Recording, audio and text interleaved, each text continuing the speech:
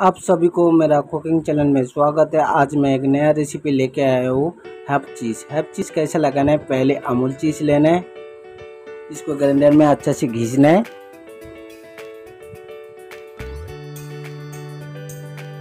इसका बाद ले लेता हूँ येलो वाला चटर चीज़ इसको भी घीसना है।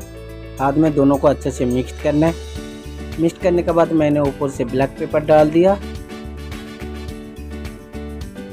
इसके बाद पार्सले डाल देता हूँ इटालियन पार्सले इसके बाद सॉल्ट एंड चिली फ्लेक्स डाल देता हूँ।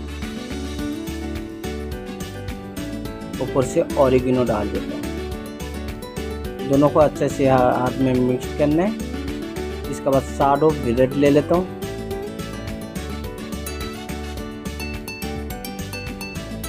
साडो ब्रेड दो स्लाइस निकाल लेता हूँ। साडो ब्रेड में ऐसी टॉपिंग करने जो चीज़ मैंने अभी ये किया था। फिर तो एक तरफ़ टॉपिंग करने के बाद दूसरा को ऊपर रखना है। इसके बाद ऊपर चीज़ आना चाहिए। आपको जैसे चीज़ खाना है, उसी हिसाब से डालना है। फिर एक पैन ले लेता हूँ नॉन स्टिक उसमें बटर डाल देता हूँ। और चूल्हा को बिल्कुल धीमी आँच पे रखना है। बटर ना जले, उसी हिसाब से रखना है। फिर मैं वो ब्रेड डाल देता हूँ।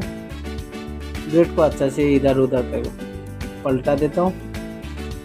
फिर उसके बाद थोड़ा सा ब्राउन कलर आ जाए।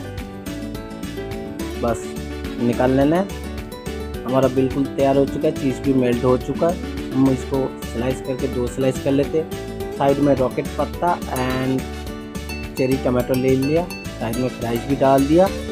हमारा बिल्कुल ऑर्डर रेडी हो चुका है।